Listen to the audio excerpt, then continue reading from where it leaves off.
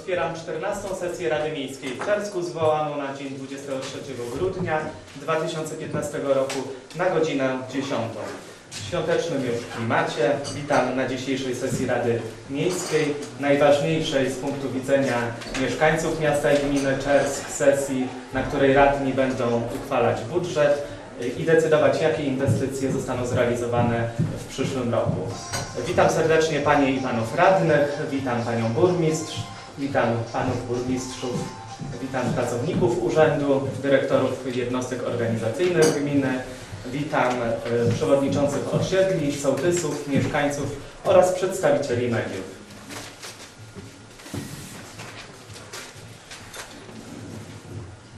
Na podstawie listy obecności stwierdzam, że w sesji uczestniczy 19 radnych. Stanowi to kworum, przy którym Rada Miejska może obradować i podejmować prawomocne uchwały.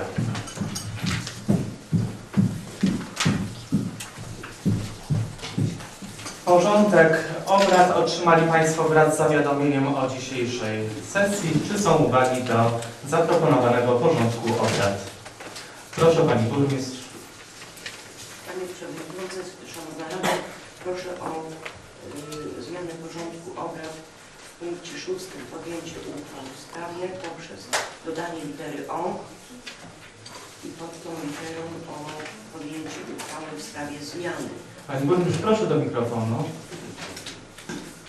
W punkcie O mm, przyjęcie, przyjęcie uchwały numer 14 rzymskie łamane na 149 łamane na 15 zmieniającej uchwałę dnia 26 listopada 2015 roku y, o numerze rzymskie 12 łamane na 130 łamane na 15 w sprawie określenia szczegółowych zasad ponoszenia odpłatności za pobyt w dziennym domu Senior Vigor w Częstochowie. Projekt uchwały został dzisiaj doręczony w formie pisemnej. Dziękuję bardzo. Czy jakieś bliższe wyjaśnienie do tego projektu uchwały?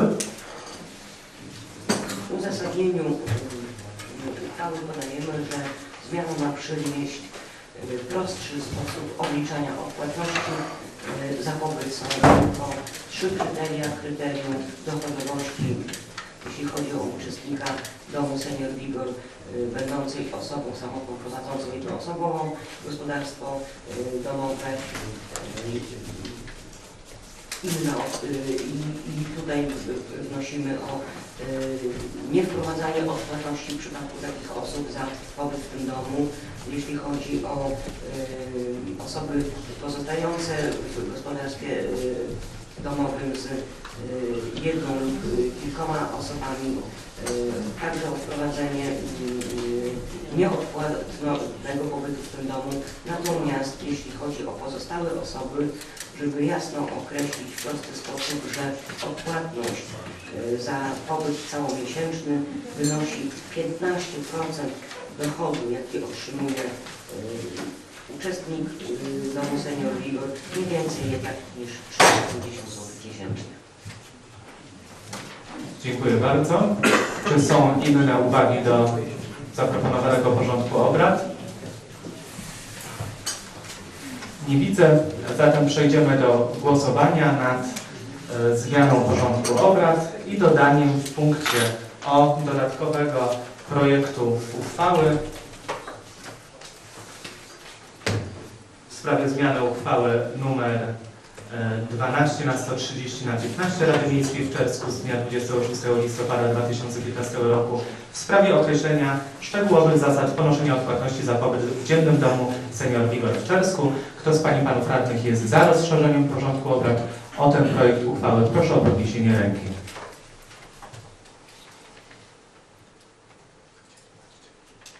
Dziewiętnaście głosów za. Porządek obrad został zmieniony jednogłośnie. Przechodzimy do kolejnego punktu porządku obrad.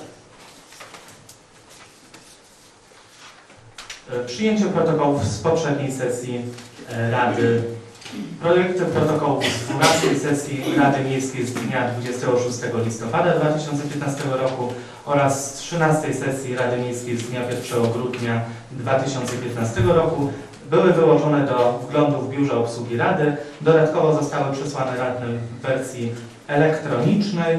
Każdy z radnych miał możliwość zapoznania się i złożenia ewentualnych uwag. Y, Do projektu protokołu wpłynęła jedna uwaga, która została uwzględniona i prosiłbym, y, żeby w protokole zmienić y, tytuł protokołu nie protokół z uroczystej gali, tylko z uroczystej sesji. Wszędzie tam, gdzie jest słowo gala, będzie sesja. Czy są inne uwagi do tego projektu protokołu z 13 sesji? Nie widzę. A czy uwagi do projektu protokołu z 12 sesji z listopada? Nie widzę. Zatem przejdziemy do głosowania. Y, W pierwszej kolejności nad przyjęciem protokołu z 12 sesji. Kto z Pani Panów Radnych jest za przyjęciem protokołu z 12 sesji Rady Miejskiej bez odczytania? Proszę o podniesienie ręki.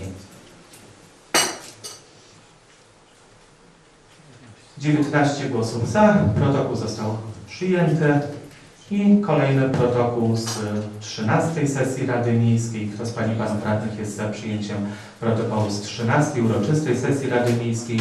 Proszę o podniesienie ręki. 19 głosów za, protokół został podjęty. Punkt czwarty. Sprawozdanie z pracy burmistrza w okresie między sesjami. Sprawozdanie otrzymali Państwo z materiałami na dzisiejszą sesję. Temat ten był przedmiotem posiedzeń komisji. Czy komisje Rady chciały się odnieść do sprawozdania z pracy burmistrza? Nie widzę. Otwieram dyskusję. Kto z Pani i Panów Radnych chciałby złożyć zapytania, wnieść uwagi jakieś do sprawozdania? Nie widzę. Zamykam dyskusję. Stwierdzam, że Rada Miejska przyjęła sprawozdanie burmistrza do wiadomości. Punkt piąty porządku obrad. Interpelacje i zapytania radnych. Bardzo proszę radnych. Proszę Pan Radny Reszka. Dziękuję Panie Przewodniczący. E, Szanowni Radni, e, Zgromadzeni Goście. E, Klub Radnych Nasza Gmina e, chciałby się odnieść do e, przebiegu ostatniej sesji, czy znaczy nie ostatniej, tylko 12 sesji. E, I mam do czytania takie oświadczenie. E, Klub Radnych Nasza Gmina stanowczo protestuje przeciwko nierównemu i krzywdzącemu traktowaniu radnych opozycyjnych. Z oburzeniem przyjmujemy zachowanie Pana Przewodniczącego w sesji w dniu 26 listopada bieżącego roku, polegające na niedopuszczeniu do głosu w wolnych wnioskach naszego kolegi radnego Piotra Kocykiewskiego. Paragraf 44, 44 ustawy y, pierwszej statutu gminy Czersk mówi, że dyskusję zamyka się po wyczerpaniu listy mówców. Bulwersuje w szczególności fakt, że pozwolił Pan swobodnie wypowiadać się Pani burmistrz, która w tym wystąpieniu odchodziła od tematu gminy, odnosząc się do własnych odczuć, przeżyć czy wręcz rodzinnych i osobistych spraw. Natomiast Pan Kosobulski nie został dopuszczony do głosu, pomimo że zgłaszał taką chęć. Z niesmakiem przyjmujemy również brak reakcji Pana Przewodniczącego w sytuacji, kiedy Pani Burmistrz depresjonuje radnego opozycyjnego i wychodząc poza jego działalność jako radnego, przekazuje negatywne treści w kontekście wykonywanego przez niego zawodu. Przypominamy, że Pani Burmistrz jest osobą zaproszoną na sesję Rady Miejskiej, a nie, jest a nie jej gospodarzem. Podobnie krytycznie oceniamy swobodne wypowiadanie się radnego Pana Niesiołowskiego w trakcie odpowiedzi na interpelację w sytuacji, kiedy mógłby y, wypowiadać się w wolnych wnioskach, kiedy żadnej interpelacji nie zgłaszał. Wzywamy Pana Przewodniczącego do re- respektowania demokratycznego prawa radnych do dyskusji, w tym do krytyki. Dziękuję. Dziękuję bardzo. To chyba interpelacja nie była, tylko uwaga do przewodniczącego. Ja pozwolę sobie zwrócić uwagę, że na poprzedniej sesji e, zaznaczyłem, w której kolejności udzielam głosu i że to będzie ostatni moment do możliwości wypowiedzenia się, aby zakończyć dyskusję. Radny miał możliwość wypowiedzenia się pełnego e, w tym temacie. Bardzo proszę, pan radny Kosobulski. Wysoka Rado, e, jeżeli są głosy i ktoś odnosi się do danej sytuacji, należy mieć możliwość odniesienia się do tego. Odnieść się do, do tego pan wiceburmistrz jeden, drugi. Ja nie mogłem z tego zripostować i w tym momencie uważam, że to jest krzywdzące. Ale to już zostawmy, to już nie ma tego, do tego tematu nie będziemy wracali. Na razie dziękuję uprzejmie. Dziękuję bardzo. Wysoka Rado, pozostawię ten temat bez komentarza. Nie mam zwyczaju y, zbytnio niepotrzebnie komentować, tak żeby pozostawiam to ocenie wszystkich Państwa. Proszę Pani Radna Robińska. Dziękuję bardzo. E, Panie Przewodniczący, Wysoka Rado, Pani Burmistrz. E, Ja chciałabym odnieść się na początku do starych tematów. E, Wracam do kwestii wyboru sekretarza. Chciałam zapytać, czy po tych dwóch nieudanych konkursach będzie kolejny, trzeci? Jeżeli tak, to kiedy? E, Jeżeli nie, e, to bardzo bym prosiła o pisemną odpowiedź, e, o podstawę prawną dla, wobec której stanowisko sekretarza to obligatoryjne w urzędzie nie będzie u nas obsadzone. To jest moja pierwsze, moje pierwsze pytanie. Drugie pytanie. mm, Chciałam zapytać o sytuację w miejskim, e, Miejsko-Gminnym Ośrodku Pomocy Społecznej. Chciałam zapytać e, o to, e, jak wygląda e, sytuacja mm, Wiemy już z doniesień medialnych, e, że mm, pani dyrektor e, obecna jest e, na zwolnieniu chorobowym. E, Pytanie jest, czy wróci do pracy, jeżeli nie, czy będzie ogłoszony nowy konkurs, e, kiedy będzie ogłoszony ten konkurs. Chciałabym też e, w świetle mm, tych doniesień medialnych dopytać, ponieważ przeczytałam e, że była, był przeprowadzony audyt. Audyt, cytuję, przez zespół specjalistów. E, Chciałam zapytać, co to był za audyt, czy to był audyt wewnętrzny, audyt zewnętrzny, kto był audytorem. No i też pytanie, czy to był audytor, który ma e, do tego e, kwalifikacje i uprawnienia właśnie audytora. No i też dopytam jeszcze raz o ewentualny protokół e, z audytu. Chciałabym, to, to, to jest następna, kolejna interpelacja, chciałabym wrócić może na to podwórko, że tak powiem, Rytla. Chciałam wrócić do sprawy ulicy Szkolnej. Dziękuję za, e, za e, oznakowanie Panie Burmistrzu. E, Nie przyjrzałam mu się, bo zauważyłam dopiero dzisiaj rano, więc, ale jest tak. Chciałabym jednak zwrócić uwagę na stan tej drogi. Niestety ulica Szkolna w okolicy sklepu jest po każdym deszczu właściwie nieprzydatna. Tutaj nie ma możliwości, żeby użytkować tę drogę. Ja mm, przygotowałam zdjęcia, e, pokażę Panu.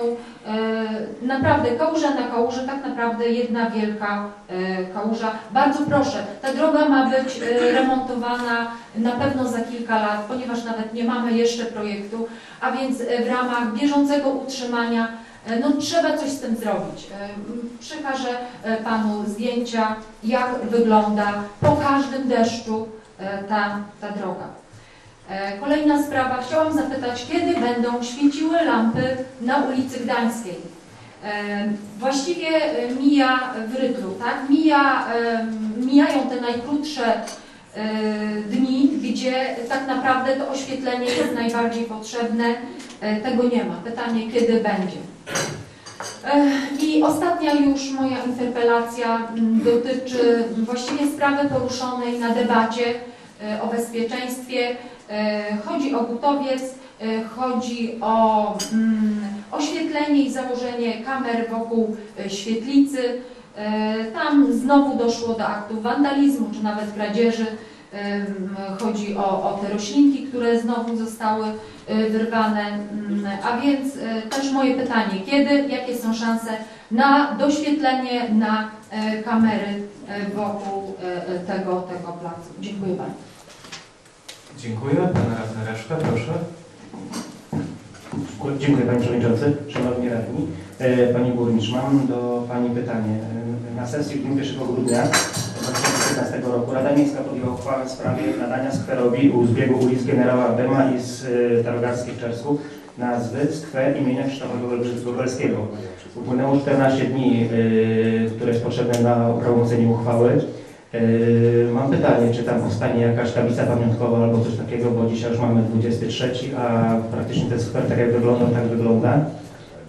Czy to będzie jakaś tablica pamiątkowa, czy tylko jakaś informacja taka, czy w ogóle nic nie będzie? Myślę, że zasłużył Pan Górski na jakiś cenny, cenny, nie wiem, czy to kamień, czy ewentualnie jakąś tablicę pamiątkową. Dziękuję bardzo. Dziękuję bardzo. Proszę, pan radny Piotr Kosowucki, proszę. Wysoka Rado, moje interpelacje mają niewątpliwie związek z budżetem. Za chwilę będziemy rozmawiać o budżecie, ale to, co dotyczy budżetu, dotyczy również naszego osiedla. Mnie interesuje osiedle tucholskie i chciałbym na to zwrócić y, szczególną uwagę. Te wnioski, o których teraz powiem, y, które te interpelacje, które teraz będę zgłaszał, być może powtórzą się przy y, głosowaniu budżetu. Ale chcę wrócić do ulicy Podleśnej. Wiem, że wielokrotnie o tej ulicy rozmawialiśmy, ale to, że rozmawialiśmy, niczego więcej nie zmieniło. Nie wiem, y, i w budżecie nie zauważyłem żadnych środków na wykonanie czy przebudowanie ulicy Podleśnej, ani w tym kierunku się też nic nie dzieje. Mam nadzieję, że ta ulica Podleśna y, zostanie wykonana w miarę jak najszybciej. Y, Wielokrotnie z przewodniczącym osiedla, z panem Wernerem, tą ulicę zgłaszaliśmy i miejmy nadzieję, że ona wkrótce zostanie zrobiona. Y, Kolejna rzecz, która y, nas y, martwi jako mieszkańców ulicy, w ogóle osiedla Tucholskiego, są to 23 drogi gruntowe nieutwardzone. Też nie zauważyłem, żeby się coś w tym kierunku działo. Przy budżecie, przy omawianiu, ani w budżecie tego nie zauważyliśmy i przy omawianiu budżetu na pewno też do tego wrócę. Nie wiem, co dzieje się z drogą 237. Zbieraliśmy, mieszkańcy zbierali głosy na wykonanie tej ulicy. Pani burmistrz na piśmie panu radnemu Przytarskiemu obiecała, zapewniła go, że będzie czyniła starania, żeby ta ulica była wykonana. Miała też zapewnienie pana marszałka. Ale y, co dalej? Nic się w tym kierunku nie dzieje. Pan wiceburmistrz Ryckowski obiecał, że na wiosnę w miarę możliwości najszybciej jak to będzie możliwe rozmalujemy linie krawędziowe wzdłuż ulicy na terenie naszej gminy, ale nie zostały zabezpieczone żadne środki w budżecie. Yy, Nawet na wykonanie projektu, żadnej części. Także jestem bardzo, bardzo zmartwiony yy, tym, że w tym kierunku się nic nie dzieje. Yy, I chcę wrócić jeszcze do tego nieszczęsnego monitoringu, który na debacie o bezpieczeństwa bardzo dużo emocji wniósł i z tego, co się z doniesień medialnych zorientowałem, mm, pan przewodniczący Społecznej Rady Kultury już przestał być yy, przewodniczącym. Być może pani burmistrz otrzymała na piśmie jego yy, dalszą niechęć do tej współpracy. Osobiście ubolewam. Nie wiem z czego to wynika, czy zbytnie zaufanie pani burmistrz, a potem rozczarowanie. Każdy, kto się społecznie angażuje, powinien mieć do tego możliwość, a nie w jakiś taki dziwny sposób manipuluje się tymi ludźmi i dla tych ludzi jest to krzywdzące. Mam na myśli teraz w tym momencie y, wizytację Domu Kultury, bo to podejrzewam było pokłosie, a nie to, co później usłyszeliśmy w mediach, y, co miało miejsce. Y, Monitoring. Dla niektórych może jest to kwestia polityczna, dla mnie jest to kwestia bezpieczeństwa. Ym, 50 tysięcy, które za chwilę usłyszymy w budżecie jest zapewnione. Chciałbym usłyszeć, na ile on poprawi skuteczność tego monitoringu, tego stanu y, zadowalającego. Czy rzeczywiście będzie można z niego maksymalnie korzystać, czy włożymy jakieś pieniądze, które za rok znowu będziemy przez 4 lata wałkować, powiem tak kolokwialnie, temat, że monitoring jest zły, że on się do niczego nie nadaje. Chciałbym, żeby to jako jedna z priorytetowych rzeczy została e, jak najszybciej uzupełniona, załatwiona.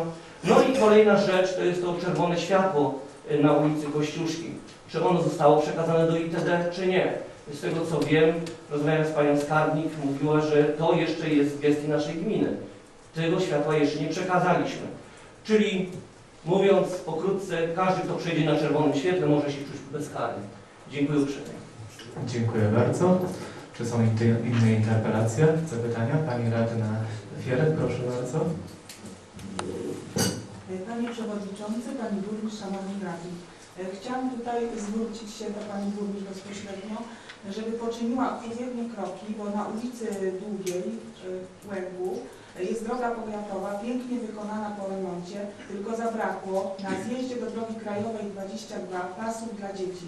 Także myślę, że tu nie są duże nakłady finansowe, a jednak dzieci czułyby się bardziej bezpiecznie i po przerwie świątecznej może można by było skontaktować się z powiatem i poczynić w tej kwestii y, odpowiednie kroki. Drugą y, moją sprawą jest y, nagminnie ZUK w Czersku gniecie kosze na odpady, y, czyli na popiół.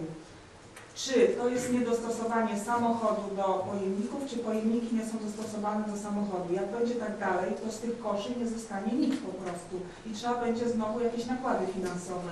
Także proszę o interwencję. Dziękuję. Dziękuję bardzo. Pan radny Wielicki, proszę. Panie Przewodniczący, Szanowna Rado, chciałem zapytać o taką kwestię. Z tego czasu tutaj były zbierane oferty, no takie oferty, y, które miały dotyczyć y, propozycji y, odstąpienia czy odsprzedaży działek pod budowę remizy OSP w Krzyżu. Wiem, że kilka tam ofert wpłynęło. Chciałem zapytać, czy została już wybrana któraś z tych ofert i czy ustalono już jakąś tam stawkę, która by nie przekraczała tego limitu, który ustalamy, ustaliliśmy w projekcie budżetu, nad którym mamy dzisiaj głosować. Nie chodzi mi o jakieś tam imienne sprawy, ale czy w ogóle ten temat został już zamknięty. Dziękuję. Dziękuję bardzo. Pani radna Miętna, proszę. Panie Przewodniczący, Wysoka Rado, Panie Burmistrz. Chciałam prosić o interwencję na ulicy Łubianka. Dzisiaj rano wpłynęła informacja do Przewodniczącego Siedla, że ZUK wykopał tam jakieś leje, które są niezabezpieczone, niebezpieczne. Dziękuję bardzo. Dziękuję bardzo. Czy są inne interpelacje, zapytania? Pan radny Deja, bardzo proszę. Dziękuję Panie Przewodniczący, Wysoka Rado. E, Chodzi mi o e, listę rankingową, którą dostaliśmy od starosty pod pozycją 42. e, Jest gmina Czersk. Jest tylko informacja o poprawie bezpieczeństwa komunikacyjnego na obszarze drogi krajowej nr 22 i przebudowa ulicy Kosobuckiej. Nie ma, no może ja nie zauważyłem, nie ma nigdzie tych dwóch ulic, które były, to jest uli, e, tych dwóch dróg powiatowych, to są drogi w kierunku e, Lipki Górne i droga w kierunku Kęszy. E, Sołtys, Rada Sołecka w imieniu mieszkańców przekazała już stosowne pismo do starostwy, e, do starostwa. Ja również w imieniu mieszkańców chciałbym prosić e, o jakby nie patrzenie na to, czy dostaniemy dofinansowanie ze schetynówek, czy nie, tylko o e, przebudowę drogi e, Lipki Dolna Kęsza. Tej drogi praktycznie już nie ma, to jest ścieżka rowerowa. Myślę, że ścieżka rowerowa, która biegnie z, e, przez e, Ryta Legutowiec jest w lepszym stanie niż ta droga w kierunku Kęszy. Przez wiele lat była ona niszczona przez pojazdy ciężarowe. Teraz te pojazdy przeniosły się na drugą drogę, która jest no- nowo otwarta, przebudowana w stronę Osieczny, a tam niestety mieszkańcy muszą się z tym borykać. Ponadto była budowa kanalizacji, która z jednej strony przyniosła nam dużo dobrego, z drugiej strony też pobocze tej drogi zniszczyła i częściowo pas drogowy. Myśleliśmy, że e, doczekamy się tej przebudowy, także mam nadzieję, że nawet jeżeli nigdzie na tych listach rankingowych nie będzie tej drogi, to e, Pani Burmistrz jakby wykona stosowne działania, zabezpieczy środki na ten cel i, i pomoże starostwu podjąć dobrą decyzję. E, Dziękuję. Dziękuję bardzo. Czy są inne interpelacje, zapytania? Nie widzę, więc zamykamy punkt piąty.